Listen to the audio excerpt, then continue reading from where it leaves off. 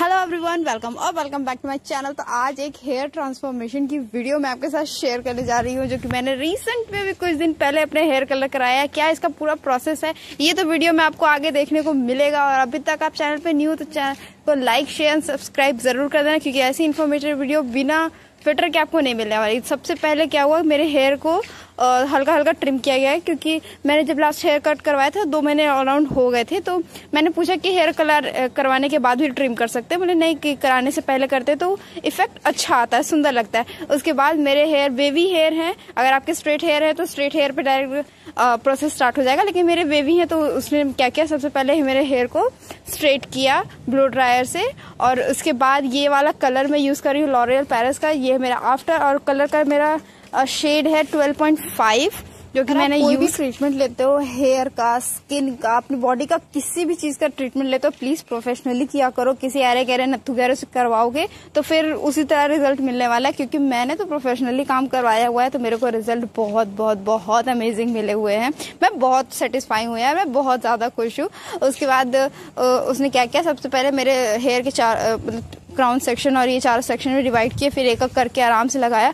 आराम से उसको एक घंटा तो लग गया था पूरे फॉइल अप्लाई करने में। मतलब फोर्टी फोर्टी फाइव मिनट्स लगे थे धीरे धीरे धीरे धीरे अप्लाई करने में।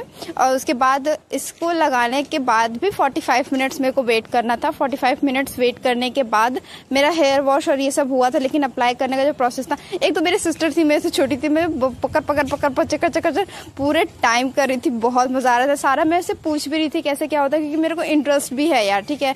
मेरे को इंटरेस्ट है हर चीज़ मतलब इस, ये बॉडी स्किन हेयर से रिलेटेड जो भी काम होता है, मेरे को बड़ा इंटरेस्ट आता है मैं सारे डिटेल में पूछ रही थी, क्या कितनी देर रखते हैं, कैसा होता है? तो इतने सारे एलमिनियम फॉइल मेरे हेयर पे थे 45 मिनट्स के लिए। उसके बाद हेयर वॉश हुआ शैम्पू कंडीशनर अप्लाई करने के बाद हेयर ड्राई हुआ और ड्राई करते करते आठ, साढ़े आठ समथिंग रात के हो गए थे।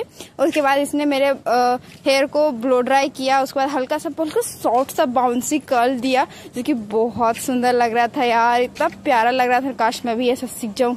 जो हो जाए।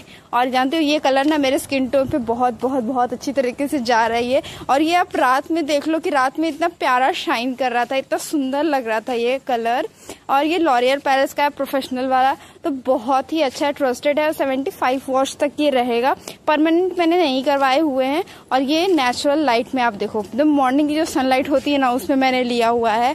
और ये मेरे को सच में अब बहुत पसंद आ रहा है, उस टाइम पर थोड़ा अटपटा लग रहा था, आँखों को जच नहीं रहा था ना गाइज़ क्योंकि फ़र्स्ट टाइम ऐसा कुछ करवाया हुआ है तो आँखों को जब जचने लगा ना तो खुद से प्यार हो गया, कसम से बता रही लास्ट में थोड़ा सा कलर बच गया था तो मैंने एक्सपेरिमेंट करी अपनी बहन के हेयर पे की, क्योंकि मैं तो उतने दिन में जितना भी सीखा, उसके बाद वीडियोस तो देखती रहती हूँ यार। उसके बाद मैंने ये वाला कलर अप्लाई कर दिया। वीडियो कैसी लग रही है आपको? कोई भी क्वेश्चन हो, कोई भी क्वारीज हो, आप प्लीज़ कमेंट करके ज़रूर पूछना और मैं आपको उसका जवाब ज़रूर दूँगी।